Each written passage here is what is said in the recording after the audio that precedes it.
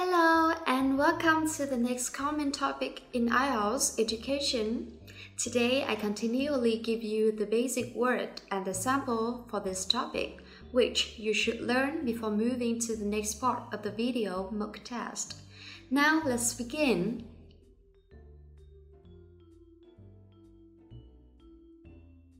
Literature. I'm interested in literature, so I'm good at this subject. Stressful. It's actually very stressful, and heavy workload in order to get a good performance. Good performance. It's actually very stressful, and heavy workload in order to get a good performance. Heavy workload. It's actually very stressful, and heavy workload in order to get a good performance. To learn by heart. I found it pretty difficult to learn by heart with friends around. High school. I would like to talk about my high school literature teacher. Subject. I'm interested in literature, so I'm good at this subject. Teaching method. My teacher has the best teaching method. To jot down, scribble down. My teacher always showed us how to jot down or scribble down the core information quickly, so you can remember it.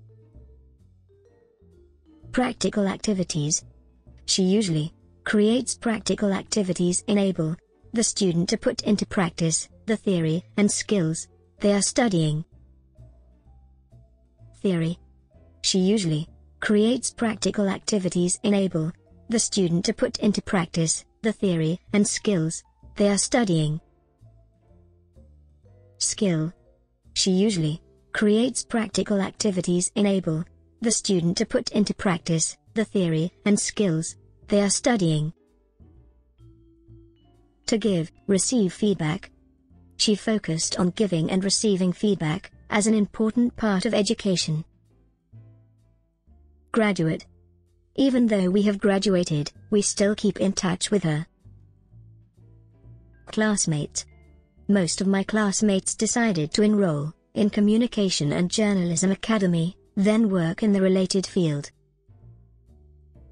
To enroll. Most of my classmates decided to enroll in Communication and Journalism Academy, then work in the related field. Pedagogy. Pedagogy is a complicated field, which just the teachers know how to use it, to teach their students so as to get the good result one-to-one. With one-to-one lessons, it's easier for the teacher to focus on only one student. Peer. Learning with classmates is usually more interesting, and many students have the tendency to learn from their peers. Lesson. With one-to-one lessons, it's easier for the teacher to focus on only one student. So if you want to practice more, please click here to download the free apps. Bye and see you in the next video with IELTS speaking mock test with education topic.